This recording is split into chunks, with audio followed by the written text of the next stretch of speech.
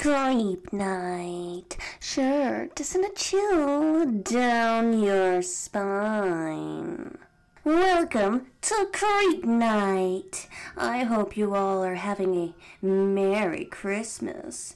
In today's episode, we're going to have a merry, scary Christmas. So pay close attention, boys and girls, because this might relate to you.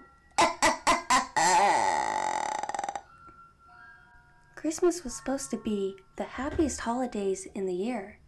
But for some reason, this year, my brother Austin and I just could not get along. Our parents had warned us that if we did not behave, that the coal man would come and he would climb down our chimney and punish us. This was not the first time we had heard this, nor would it be the last.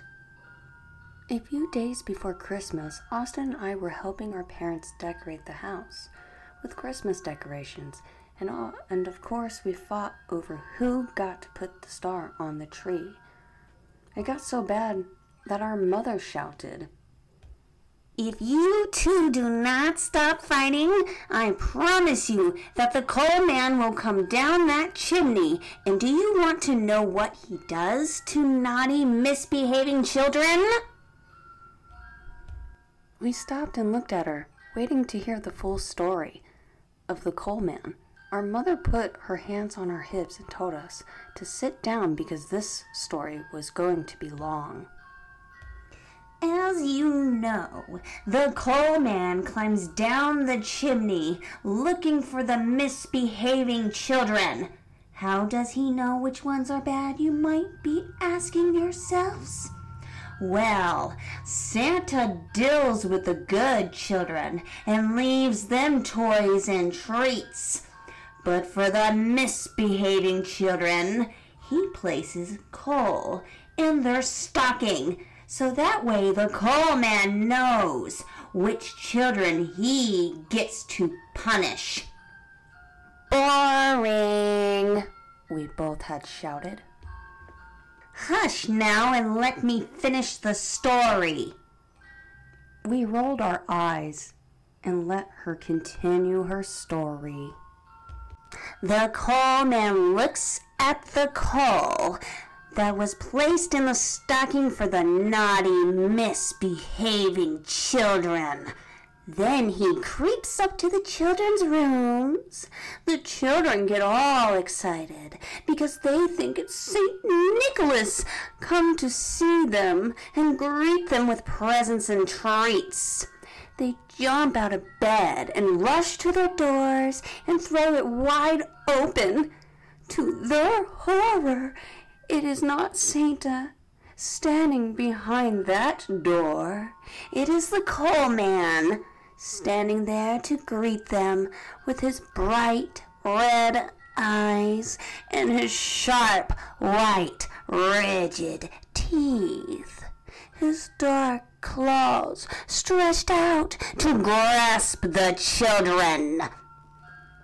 We asked our mom, what about the parents? Wouldn't they hear the children screaming? But my mom shook her head and replied, that is the worst part of it all. While the parents are sleeping soundly in their beds, dreaming of sugar plumps dancing in their heads, they do not or cannot hear their children screaming. I shook my head and laughed. this story sounded so silly to me. How could a parent not hear their children screaming? I asked my mom, wouldn't they notice that their children were gone? That is the second worst part of this story. After the children go missing, it is like the coal man has placed this spell where the parents don't remember having any children. So I warn you now, especially before Christmas, Stop your fighting and be good little children. Austin and I shook hands in agreement that we would make a truce. We joked about the coal man getting us. Ooh, you better watch out, or the coal man will get you. I laughed when he had said this to me because we both had not taken the story seriously. Our mom shook her head and threw her arms up in the air. Christmas Eve, we helped our mom make cookies and even set out a plate of chocolate chip and a tall glass of eggnog for Santa Claus. We made sure our stockings were hung up in the right spots. Our mom smiled. Our mom's smile would soon fade as Austin and I were arguing and fighting each other. Our mom came running into the room and had seen the TV smashed on the floor. She became so angry, she sent us to our room for the rest of the night. Austin and I joked about the coal man and how funny it would be if the creature happened to be a small little elf on the shelf doll, designed to scare the daylights out of the children who believed such a stupid story that the parents had told them. We had fallen asleep around 10 p.m. It felt like we had been sleeping for hours, so long that it seemed like time was moving in slow motion. I awoke with a startle and I rushed over to Austin. Did you hear that? I asked him. Yeah. What do you think it was? Most likely the coal man. Austin had said with a laugh. Annoyed, I nudged him on his shoulder and replied, I'm being serious. Something is on the roof. Yeah, it was probably just the wind. Austin had laid back down.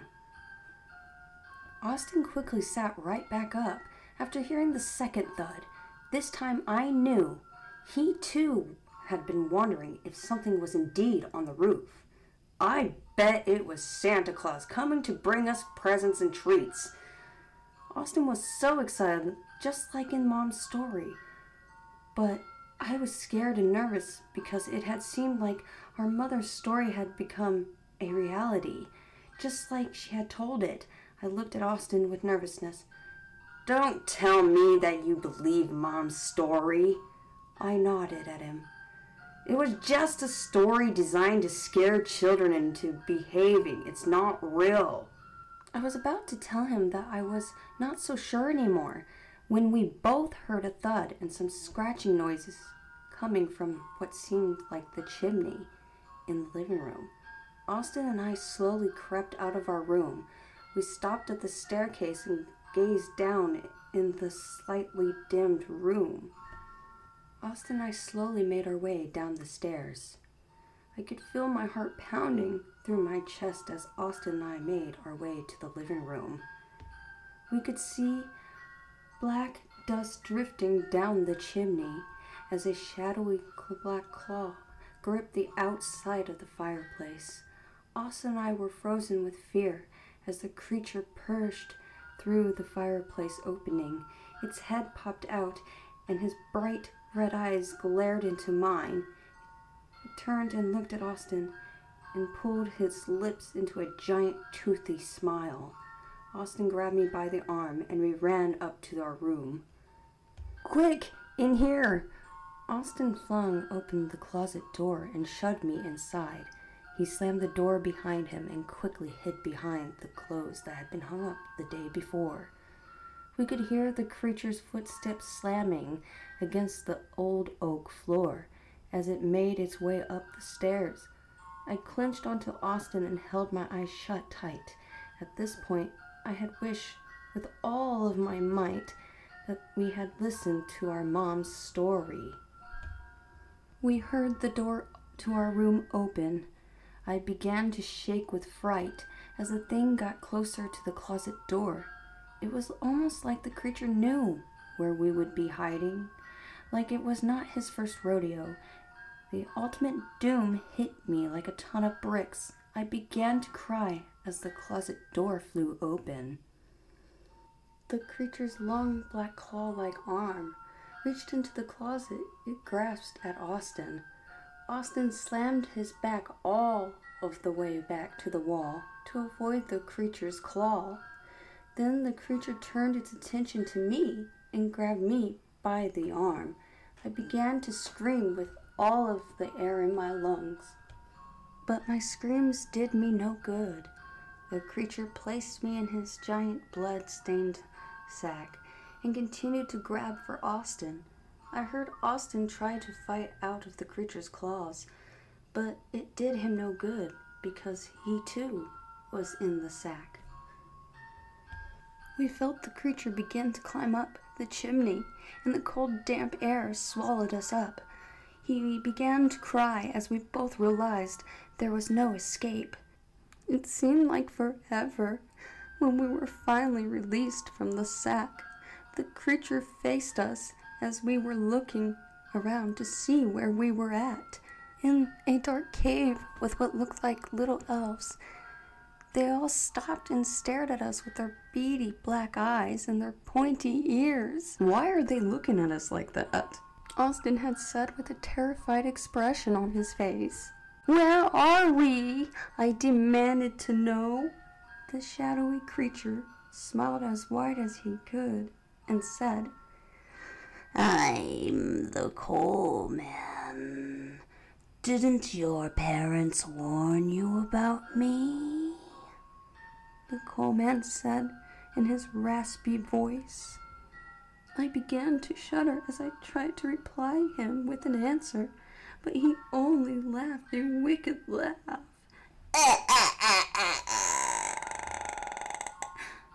no matter now, you both will do great in my collection. The coal man had said with such dark intent, he began to rub both claws together as he walked closer to us. I could smell his foul breath of rotten flesh. I gagged as I tried to take a step back. You can't keep us here forever! Austin shouted as his fear began to drain away. The coal man smiled at Austin as he glanced past me to him. Oh no. And how do you suppose you will escape? Austin had no answers for the coal man, and he remained silent. What are you going to do with us? I asked with dread in my voice. Do you know why I bring misbehaving children here to my lair? The coalman had said with an evil grin, as if it took pleasure in the fact that we were terrorized out of our minds. I shook my head no. You see, every Christmas Eve I look for the most naughty children of them all, and I bring 'em here. The coal man paused and looked over to his elves and smiled. The elves began to walk toward the coal man and toward us. They began to surround us. Then he looked back over to us. I bring them here to become my own personal elves. You see, all of those elves around you were once misbehaving children just like yourselves until I came and stole all of their essence, and now they remain here for all of eternity with me. We screamed in horror as the elves grabbed us and began pushing us into a cage. The coal man shut the cage door and began to inch closer to our faces. He began to suck the air surrounding us. In horror, I could see a white mist coming from my body. I grew faint until the darkness surrounded us. I guess we should have listened to our parents when they had warned us to behave. Because if you have guessed it now, we are now part of the Coalman's elves. So you better watch out. You better not cry. You better not pout. I'm warning you why. The Coalman is coming to town. Thank you for listening to Creep Night, and I hope you all have a merry, scary Christmas.